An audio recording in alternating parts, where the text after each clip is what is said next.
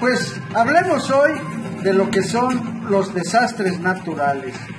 Y como desastre natural podemos considerar a los tsunamis. Un tsunami es una ola gigantesca de agua que alcanza las costas con una altura superior a los 15 metros. Su nombre proviene del japonés cuyos vocablos significan puerto y ola. En español, el término más adecuado es maremoto.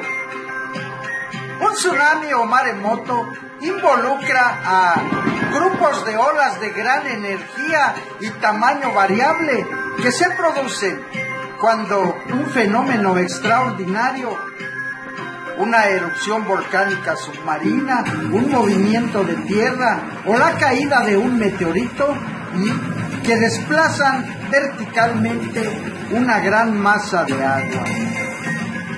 Es frecuente que un tsunami que viaja a grandes distancias disminuya la altura de sus olas, pero mantiene fuerza y velocidad, por lo que, a pesar de ser una masa de agua de poca altura, puede arrasar con todo lo que esté a su paso. Se calcula que el 90% de tales fenómenos son provocados por terremotos, en cuyo caso reciben el nombre de maremoto tectónico, como el ocurrido en el Océano Índico en el año del 2004, o por derrumbes, que fue lo que sucedió en la bahía Lituya, allá en Alaska, en el año de 1958.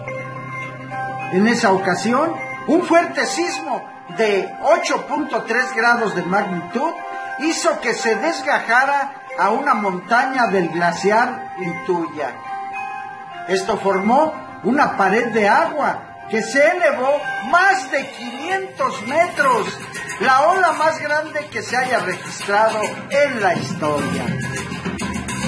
Amigas, amigos, muchas ocasiones los medios masivos de comunicación nos dan cuenta de que en tal o cual región del mundo se desarrolló y presentó un tsunami. Luego entonces, es bueno estar enterados de qué se trata este tipo de fenómenos que lamentablemente cuando se presentan afectan a gran parte de la población. No tsunamis o desastres naturales.